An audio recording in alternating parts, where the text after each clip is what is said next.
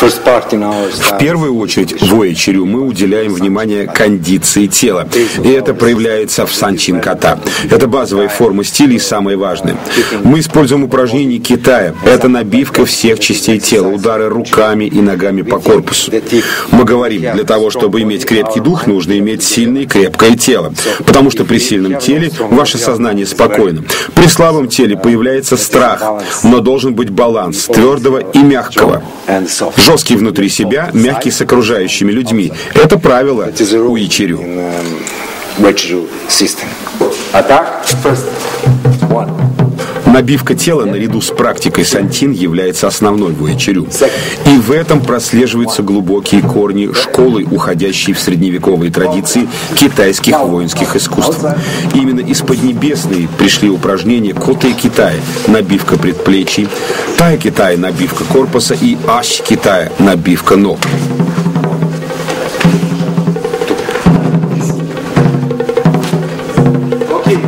Таким образом, за полчаса практики Китая прорабатывается все тело. Именно этим китайским блюдом с удовольствием и угощали друг друга участники семинара по Уичерю на протяжении второго часа занятий.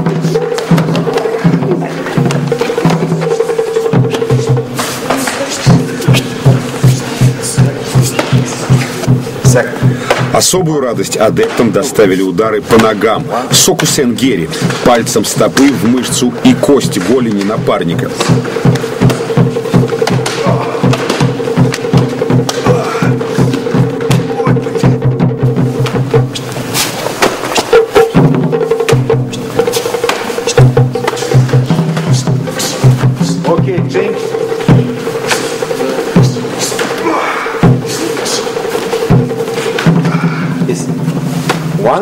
This.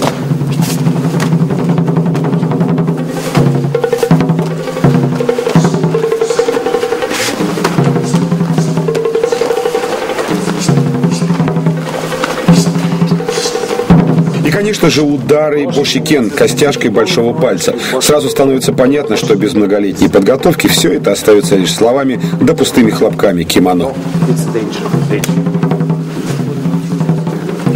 Вообще сенсей такой вид, э, такое впечатление создается, когда со стороны смотришь, э, такой очень суровый, злобный и такой серп. Вот, когда с ним поближе познакомился, прекрасный человек, у него прекрасные ученики, отличные ребята, и а, сенсей, а, так уж, если мы отвлеклись, он в период их э, национальных войн он воевал, и так, между нами говоря, он говорил, что имел возможность применить это на деле, как бы. Я вижу, что у сенсея очень сильные руки, очень сильные пальцы. Очень больно. А вот как ты считаешь, он обладает способностью? Абсолютно. И я думаю, что это не в полную силу. И когда на самом деле с ним встаешь, очень страшно и очень больно. А, он э, каждый день, если вы видели его руки, он каждый день он э, бьет по макеваре. Очень-очень много раз, 300-400 раз. А, каждый день. Санчин и макевар. Это каждый день. Всегда он занимается. Санчин, макевар. Каждый день. А вот, но буквально в это лето он э, повредил себе левую руку на макеваре. Говорит, перестарался, бил в нее раз 400-500 уже, и, видимо, не выдержала какая-то там связка, и рука болит левая. Вот он каждый день бьет макевару, каждый день делает санчин 3-4 раза. Евгений Рыбин демонстрирует кота Сейсан Уэчрю. Это любимая форма его учителя, сенсея Владимира Поповича. В отличие от специалистов в кавычках, утверждающих, что кота – это мертвая форма, набор отживших и абсолютно неприменимых в бою приемов, Евгений раз за разом, практикуя кота Уэчрю, проникается духом и сущностью древнего воинского искусства.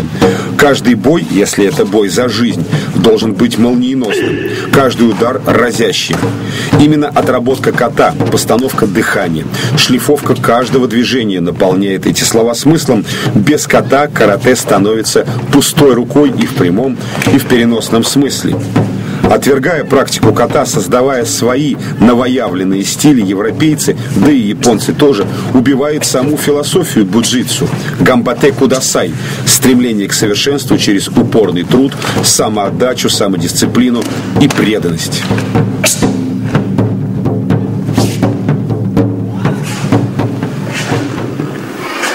Вся идея кумите очи захватить, левой рукой захватить, правой рукой нанести шокензуки правой, э, левой ногой нанести удар сокусы. Вот сама идея. Так. Пальцем ноги. Сокусы, да, пальцем ноги. И поэтому все кумите направлено на то, чтобы схватить соперника за руку, нанести удар в голову. И в голову или в корпус. Это и все. Еще а, Уэчи а, очень часто не критикуют, но достаточно так предвзято относятся к а, ВКФ спорту и к спорту. Я бывший спортсмен, я не хочу ничего говорить против, да, это отлично, и я думаю, что нужно пройти школу спорта, но дело в том, что а, они критикуют спорт за то, что ката и кумите абсолютно просто вот две разные, просто вообще. Разные планеты, да. Абсолютно. А уэчи, они пытаются, вот сенсей э, в залах кумите, они, во-первых, очень часто работают без накладок. А, и сама идея все время быть в санчи, все время быть хера, руки держать хиратекаме, как положено в школе, и все время э, схватить за руку, сделать блок в ауке нанести удар. У них кат четко сопоставим с кумите. Когда у нас проводятся соревнования по всем стилям, спортсмены, неважно какие стили, у Годзюрю, Шотукан, выходят на э, ринг, одевают трусы и перчатки и начинают боксировать. Я видел на Кинаве, когда привезли американца, и против, э, он бился с представителями разных стилей, выходили представители стиля Уичирю, и они, они проводили поединок в стиле Уичирю. То есть они не пытались боксировать, не пытались бросать, как в миксфайте. Они работали Уичирю, били пальцем ноги, атаковали, а, э, обозначали удары пальцами. То есть понятно, что стиль, он э, как бы ярко выражен. Вот это очень интересно, то, что сейчас ты сказал. А, э, они пытаются сохранить традицию, пытаются э, э, турниры проводить по кумите именно только в школе, в своей школе. То есть э, сохраняя вот эту идею сам. Ката, кумите – это одно и то же. То есть это и есть карате, Жень? Это и есть уэч и карате, сама идея. Демонстрируя расшифровку техники бункай ката сейсан, Евгений Рыбин еще раз доказывает свои слова о том, что карате и ката – это одно целое. Сколько нужно тренироваться, бить пальцами в песок и гальку, чтобы они не сломались при ударах нуките? Сколько часов нужно простоять в санчин даче, чтобы научиться врастать в землю и при ударах не валиться с ног от своих же собственных движений? Как нужно научиться регулировать дыхание, чтобы проделать всю форму, весь бункай, даже не запыхавшись? Обозначать удары во время исполнения ката на соревнованиях и крутить сальто от одного легкого прикосновения партнера достаточно легко. Но этому есть несколько другое обозначение. Шоу, акробатика, цирк, в конце концов. Но уж никак не воинское искусство. We see that the techniques of Uichiru is very dangerous. Мы видим, что техника Уичирю очень опасна и разрушительна. Меж тем, все китайские окинавские мастера очень добрые, миролюбивые люди, совсем не агрессивные. Как соотнести эти две стороны? Как вы думаете? Как вы объясните это? Я думаю, это вопрос философии. Во-первых, восточная культура учит уважению других людей, независимо от того, чем они занимаются.